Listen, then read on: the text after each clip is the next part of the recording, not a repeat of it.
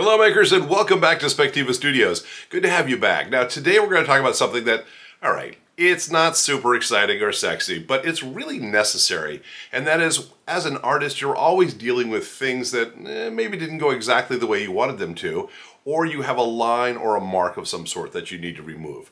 And erasers and the technology behind erasing is really what our focus is going to be this week on Mixed Media Masters. Now, to get things started, let's just talk about what this might look like in, in the context of a, of a real project. Now, as you may recall, a few weeks ago, we were working on this piece here, which has some India inks, and there are a bunch of lines I put down because I wanted to make sure that we kept things arranged in a somewhat orderly way. But I don't want these lines to stick around after the fact, so part of what I want to do, of course, is to make them go away. And I want to talk a little bit about how we might do this, and I want to introduce you to three different types of art erasers that you may or may not be familiar with. And the first one we're going to talk about is the art gum eraser. Now this is a relatively small block here. They come sometimes much larger bricks. But the purpose of the art gum eraser is it's a very gentle eraser. So for example, if I come over here and say, let me uh, start working on this line, one of the things you'll notice when you're working with art gum erasers is it leaves a lot of crumbs behind because the friction when you're going after the line is being transferred back to the eraser. So the eraser is actually disintegrating as opposed to tearing away at the paper. If this was a lot stiffer, then the friction would be going toward the paper, and that may not be something we want. And the nice thing about an art gum eraser is it does a pretty good job of erasing, and it's also erasing the eraser at the same time.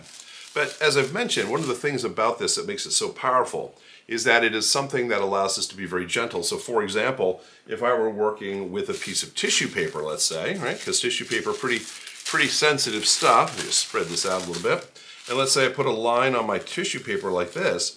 If I went in after that with a pencil eraser, let's say, the odds of me tearing the paper are pretty good.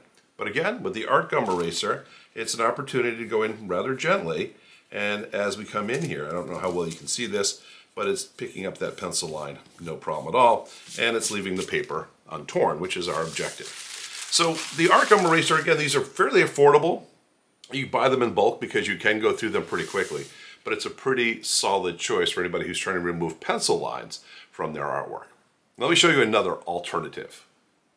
Now the next eraser type we have is something you're already familiar with and that is the type of erasers that you find on the end of a standard pencil. And it's a combination of, of some silica, some grit basically, and it's designed to be able to remove not only pencil but ink from certain surfaces. So it's a little bit abrasive, even though it's not horribly so. And of course, as a standard eraser, most of us are familiar with these in some way. And if I'm going and working on my relatively tough piece of watercolor paper here, it's probably not going to have any kind of challenging effect. And it, it's also fairly crumbly, but it will dig deeper into the paper. That's really its goal. Now, again, these are easy to come by and any, pretty much any big box store is gonna have them. And I'll put a link for everything down below. You'll be able to see what we have here. But this is a good alternative. Again, it's a, it's a cheap and plentiful alternative.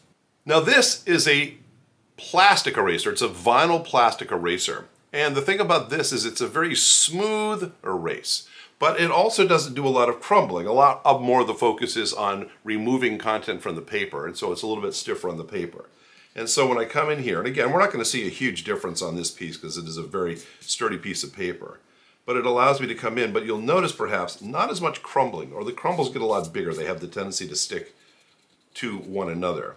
And so I can come into a piece like this and guide my way in and do a pretty good job of erasing all of the pencil lines. And the huge difference between these is that this is just a little grittier. This is much more smoother without grit. And it's really designed, again, to use friction to pick things up. Now I'm going to show you one other eraser type that's kind of a, an interesting combination of different things and how it might be used. And that is the kneaded rubber eraser.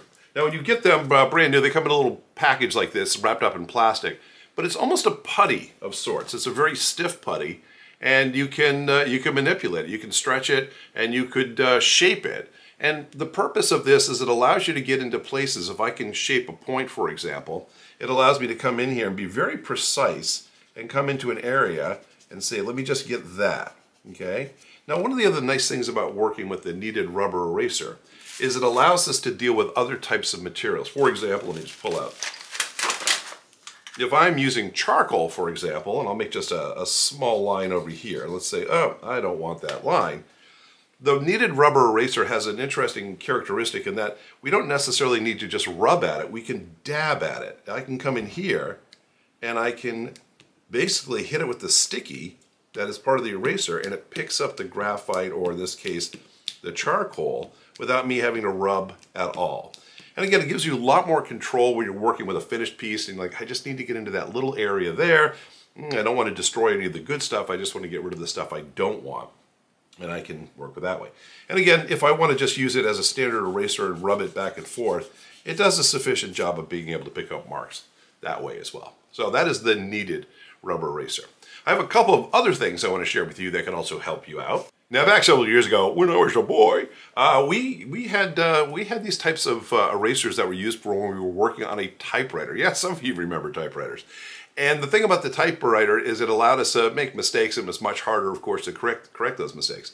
So there were these pencils that are basically a pencil that is an eraser. And what it allows us to do, of course, is you would go in and you would erase whatever your mistake was that you were typing so you could type over it. That was the, that was the plan. But these are great tools to have. Uh, a little harder to find uh, in the in the uh, in the typewriter store these days, but uh, the kind of thing you can go in and it just gives you much more precision because you're working with this tip. So being able to come into a piece like this and and erase specifically where you want to be is really the key in here. Okay, being able to just come in and let's make sure we get just the part we want and, and don't go get anything we don't want. So that's the objective of using this. And of course, this one comes with a handy little brush on the end so you can, you know, sweep your work off if that's what you need. So that's a cool thing to have. Now I'm going to show you something else that could also really aid in getting into tight spaces and nooks and crannies and also making sure when you're working with your artwork, you don't damage the good stuff by trying to get rid of the stuff you want to get rid of and that is through the use of these templates. Now these templates are metal, very thin stainless steel templates. Uh, they're often used by people who are involved in some sort of technical drawing to make shapes. But one of the nice things about these also is that if you have one, you notice like for example, I have a, a slot here, some different slots. If I were to come in here and say, you know what, I want to be very precise. I'll, I'll, come and grab this line here. And if I take this metal template and I put it over the area that I want to erase, and then let's say I just grab my, my vinyl eraser here. I can come in here and it's only going to erase whatever is within that template space. So I can be very, very careful and say, whoops, let's not get any of that stuff there. That's, that's going to get damaged.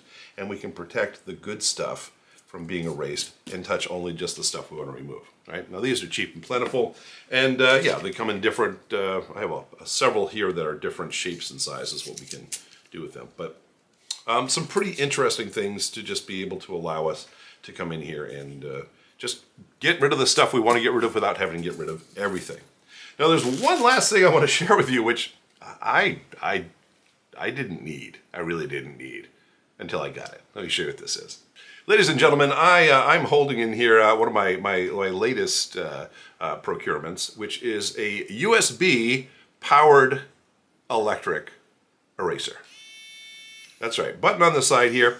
And uh, there's a vibrating nib here. And by the way, this one comes with a, a full collection of replacement nibs. These, uh, I guess we'll call them erasers, right?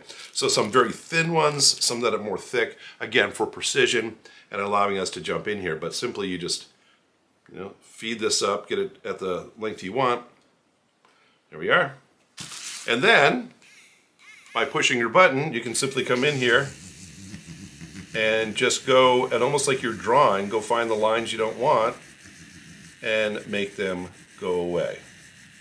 Now, all jokes aside, I mean, you know, does anyone really need to have an electric eraser? It does make things a lot easier. It makes things a lot more precise too. It's an opportunity, again, if you're trying to protect things, being able to go into just specific areas and just reach what what's in there and erase what's in there without erasing the other stuff around it could be incredibly powerful. And if you're using the, uh, the, the, smaller, the thinner nib or the thinner uh, eraser material, it will do a pretty good job that way as well. Erasers. You don't spend a lot of time thinking about them, but they can be incredibly powerful and important things to have in our artwork. And I'm, I'm going to finish cleaning this guy up and uh, get it ready for the gallery. But that's what I wanted to share with you today. I hope you found this interesting. And by the way, if you like this kind of thing, we, we, we drop a video every single week uh, on a Friday morning even. So feel free to hit that subscribe button down below. We'll let you know if uh, when, uh, when the next video drops so you can be part of what's going on. And by the way, we appreciate you being here and uh, have yourselves a fantastic day. I'll talk to you real soon.